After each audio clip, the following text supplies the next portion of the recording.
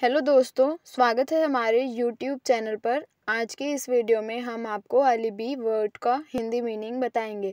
अलीबी word का Hindi meaning है, एक ऐसा कथन जो किसी व्यक्ति के उस स्थान पर होने की पुष्टि करता है जब कोई अपराध किया गया था।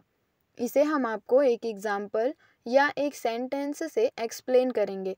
तो इसका एक एग्ज़ाम्पल या एक सेंटेंस है the suspect had an alibi for the time of the crime इसे हम आपको हिंदी में एक्सप्लेन करेंगे तो इसका हिंदी मीनिंग है, अपराधी के पास अपराध के समय का अलबई था।